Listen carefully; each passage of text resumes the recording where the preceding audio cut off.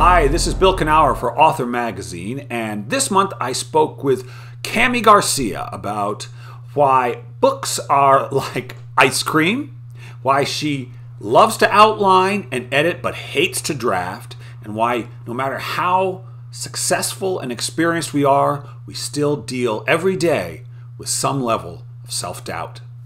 Enjoy. Well, Kami, welcome. Welcome to the show. Thanks. Thanks for having me. I, I think I mentioned to you on Twitter that um, I was thinking of you because you're you and Margaret are make a brief appearance in my book coming out in June about creativity and and the nature of writing and self doubt and and I found you guys interesting because you tell a great story um, about but one thinking the other had written a sentence that they were going to and you didn't know in the end who had written what, right? Yeah. And you know, you're like Lennon McCartney, I guess, in certain ways. And there's a, a sense of like, I think there's a great egolessness that is very helpful in that process.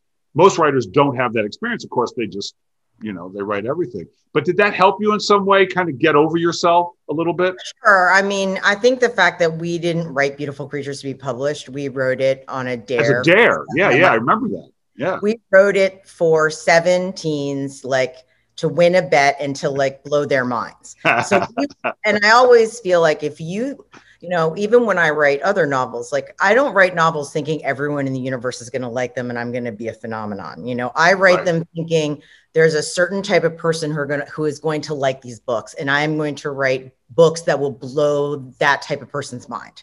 Are you that type of person? Um, I try to be. You, but are you? The, I mean, in somewhere in you, because you write for younger you write for yeah. I mean, I try author, to write. Right? I try to write things I would have loved, and I try right. to write things that either the teens or the adults that read YA that I know would love. Yeah. You know, with twists and and really, you know, very authentic voices. And sometimes people will say, like, "Well, I just really don't like beautiful creatures," or "I don't like your your um, contemporary standalone romances because." They're not rom- you know there's too too many bad things happen. They're just not perfect and romantic enough. And i always say that's totally cool because they're not for you. Like that's right. like books are like ice cream. There are people who don't like chocolate as inconceivable to me as that is. I like it. Ooh that you're the first one who's used that metaphor. I like it. Yeah, i like it. Totally like ice cream. It's subjective.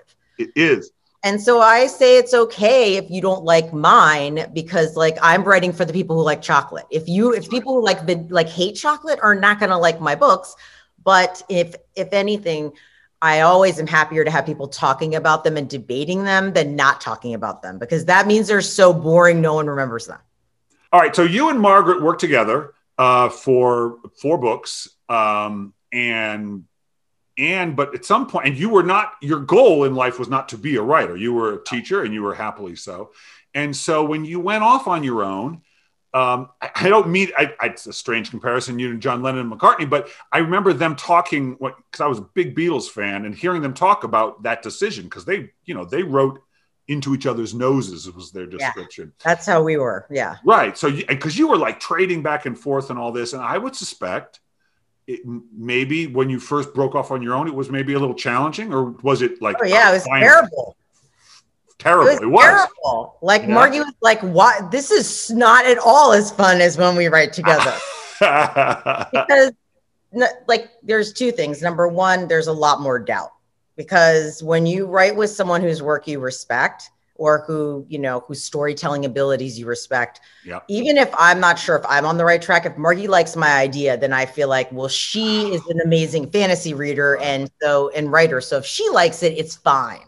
When you're on your own you don't have that fail save um, you also the cool thing about writing with a partner the way we write is um, you also get to kind of be a reader because every time I get something back, I'm even though I might know a kind of the outline, there's going to be lines and like moments and things that I don't anticipate that are so fun and surprising. And when you're writing yeah. your own stuff, you do not have that. It all seems super boring for me when I'm writing. Yeah. Well, the goal, and I'll bet you've learned this now that you've done some on your own, is you start getting surprised, right? Eventually, something start surprising you a little. Well, I will say I don't like to draft novels at all. It's like it is very painful and miserable for you me. You mean outline? Yeah, no, I love outlining. I love. I oh, love but you find the first draft to be painful. first draft I hate. Why? I don't mind revising Why? because to me it's really really difficult because it's almost like I'm listening for the vo- I'm watching the story in my Mm-hmm. head and I need to like keep it running to you know record it. Okay. And there's a lot of doubt. Like once that I have it on the page, I know I can fix it if there's something wrong. But when I, you know, it's almost like I'm worried if I'm gonna, you know, forget parts or I'm not gonna record the right ah, parts or right. You're just going, you know, viewers, listen, Kami here, she's a successful, very successful writer. She's been at this while. You see, this is why my next book is about self-doubt and the writer's battle with it. It's a it plagues us all. Yeah, and it just- doesn't go mine doesn't No, go away. Like it's no. not better now because I've done a whole lot of books. Not even a little bit.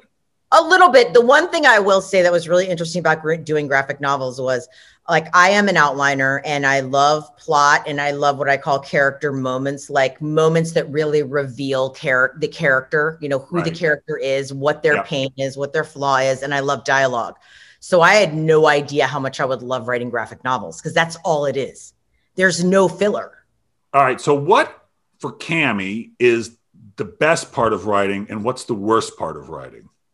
Um, I love coming up. I love brainstorming, coming up with the ideas. I love outlining. Um, my outlines are more like a beat sheet, but I mean, I also do. Um, I use Pinterest, and I also use. I create like boards. In Oh. there's a, a bunch on like my Instagram. People can see the boards for some of my series.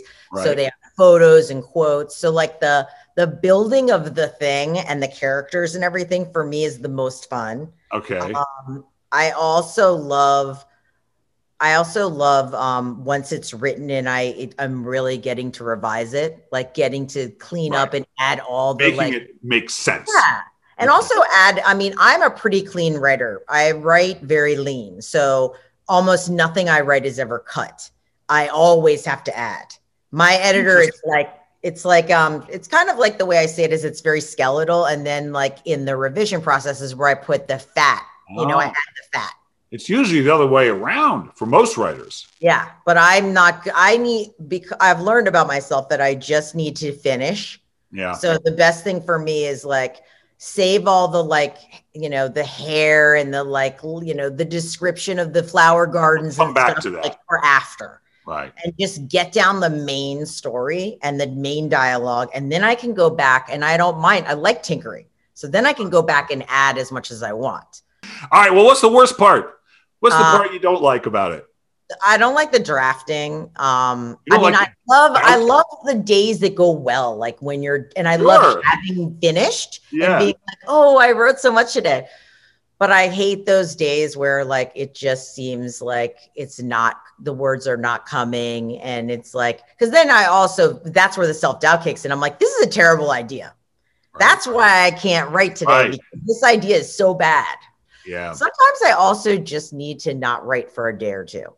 Like sometimes I'll just, you know, I'll watch a movie or something, like something that I consider inspirational. Yeah. Well, also, I do think there's a thing that happens where the idea wants to come, the solution, the the the vision for it wants to come through, but we're blocking it. I think we are always blocking it. Yeah. And sometimes you have to stop thinking, stop blocking it by getting distracted, and then oh, oh, there suddenly there it was. I do think that's the way we all work on some level. So I I definitely feel like whether driving is a big thing for me Yep. if I'm driving around and when I take and if I take a shower. That's right. That's right. I'm the same way because those are places or doing the dishes sometimes because then your mind isn't and Yep. you're just drifting easy. And that's, you know, I always say with writing, because I, I really write about creativity a lot. That's sort of my thing. And I've, I've come to understand it's really a frame of mind that allows creativity. It's not, I mean, there is a skill to it, but I think the biggest skill is getting into the frame of mind that allows creativity. And then it And knowing how to get into it. And that's correct.